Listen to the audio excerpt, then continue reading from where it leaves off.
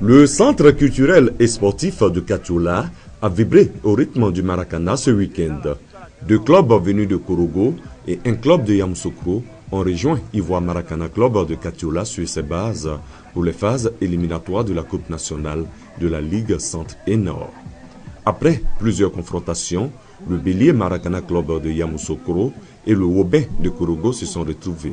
Le principe était simple, le vainqueur de ce match obtient la place qualificative pour les phases finales prévues à Boaké. Le Robin de Korogo, plus à l'aide, s'en sort à bon compte en remportant le gain du match 2-0.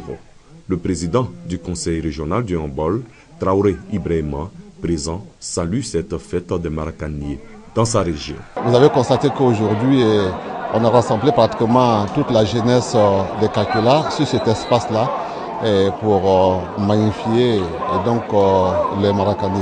Nous sommes très fiers. S'ils peuvent revenir pour la finale, ça nous fera plaisir. Après le Robin de Korogo, la Ligue du centre et nord de Maracana doit encore désigner deux autres représentants pour le rendez-vous de Boaké.